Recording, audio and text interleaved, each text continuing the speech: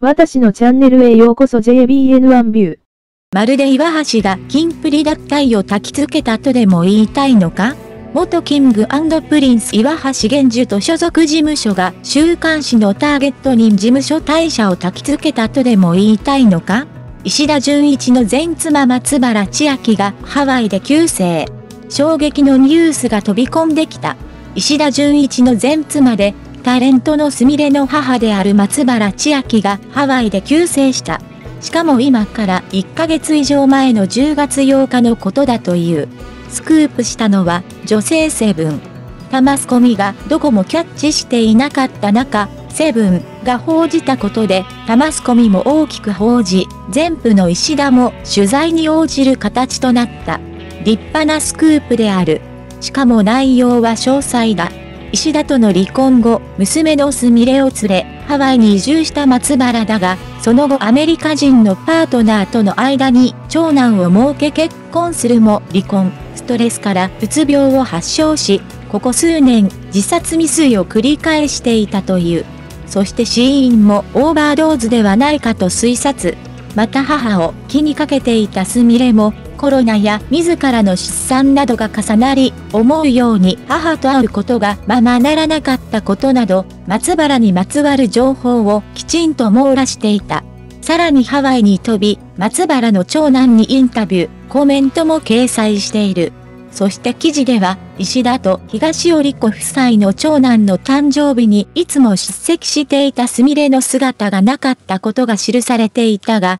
しかしその後、美智子の誕生日には石田ファミリー、東尾治も含め、と笑顔で写真に収まるすみれの姿が。さらに、週刊女性では、石田一世が追悼取材を受けている。やはり、すごい芸能一家だと改めて感嘆させられた。女優の趣里がインティマシーコーディネーターを起用。今年、映画ドラマ界で相次いだ監督など権力者による性加害やハラスメント。そんな影響も大きかったはずだ。日本の撮影現場でも、インティマシーコーディネーターの存在がクローズアップされつつある。インティマシーコーディネーターとは、映画などでルードシーンなどの性的描写のある撮影において、役者をサポートする専門スタッフのこと。そして、このインティマシーコーディネーターを女優の趣里が起用しているのだとか。23年の朝ドラ主演が決まった趣里だが、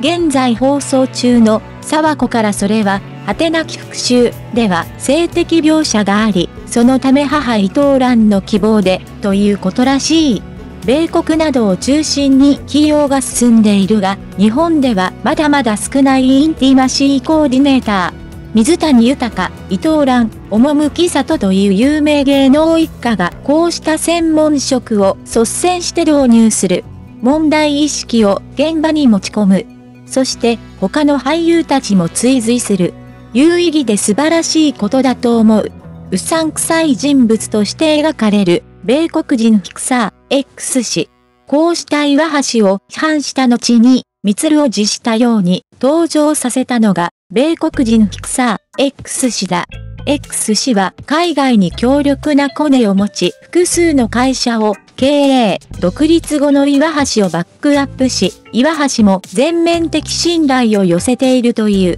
そもそも他報道ではエージェントという肩書きで紹介される X 氏に、ピクサーなどとおどろおどろしい継承をつけていること自体、恣意的だが、記事でもこの X 氏、かなりうさんくさい人物として描かれる。かつては元キャットタンへの赤西仁さん、38歳の遊び仲間。赤西さんの現場マネージャーを務めていたこともありますが後に仲違いして決裂しています。山下智久さんがハリウッド映画に出演したり世界的な俳優のウィル・スミスの家族が経営する事務所と契約することができたのも XC の紹介という触れ込みでした。以上、XC の知人のコメント。彼が接触したタレントが次々に事務所を辞め、いざこざが絶えないことに多くの芸能関係者が危機感を抱いている。そして、平野らジャニーズ退場メンバーたちが XC に影響されることを懸念するのだ。これまで三流組、特に長瀬角を持ち上げる一方で、退場組3人を悪者にしようとしてきたジャニーズ忖度マスコミ。しかし、それだけでは飽き足らず、お次は岩橋とそのエージェントという格好のバッシングターゲットを見つけて引っ張り出したというわけか。紅白出演が決まったキンプリだが、今後も同様の構図の報道が続くのだろう。下世は、秋分、スキャンダル。長く女性の欲望に応えてきた女性週刊誌を、伝説のスキャンダル雑誌、噂の真相の元デスク上林博恵が、ぶった切る。2016年、妻に対する殺人罪に問われた講談社元編集次長の事件。先日最高裁で二審が破棄され高裁に差し戻しに、殺人ではなく被告の主張する自殺の可能性も捨てきれないとの判断が、これまで様々な疑問が指摘されている出版関連事件だけに、今後の審理が注目される。第627回。1位、平野市用も幻惑。キンプリを分裂させた米国人フィクサー。2位、独占追悼。松原千明さん。ハワイで休止、もがき続けた暗闇。3章、松原千明さん。石田一世。ママ子が忘れられない。ごめんね、の手紙。3位、水谷豊と伊藤蘭、愛娘を趣里主演ドラマに送り込んだ、ベッドシーン監シーン。米印、女性自身は合併後を休み。滝沢秀明氏のジャニーズ大社とキングプリンスへの分裂騒動。地上並テレビの情報番組はジャニーズ事務所の内幕など、その舞台裏を報じることは決してなかった。一方で、ジャニーズ御用達や忖度雑誌は、格好のスケープゴートを見つけたらしい。それが、昨年3月に、キンプリを脱退し、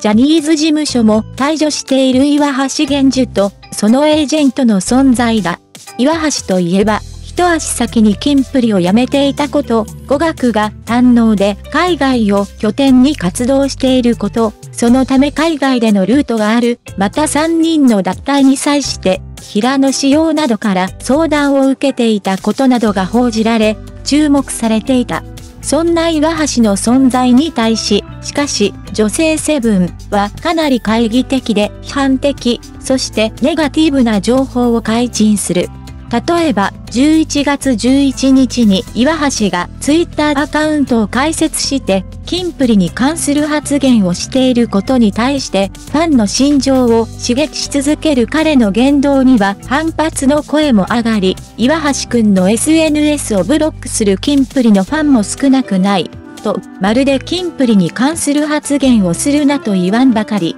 またキンプリのインスタアカウントをフォローしたことや、メンバーとの親しさをアピールしたこと、テレビ電話をしたことも、セブンは気に入らないらしい。さらにキンプリが仕事で鈴鹿サーキットに行った際、岩橋も同所に押しかけたと苦々しく表現した。まるで岩橋がキンプリ脱退を焚きつけたとでも言いたいのか？と思ってしまうほど。まる私のビデオを見てくれてありがとう。最新のビデオを受け取るために私のチャンネルを購読してください。最後まで読んでいただきありがとうございました。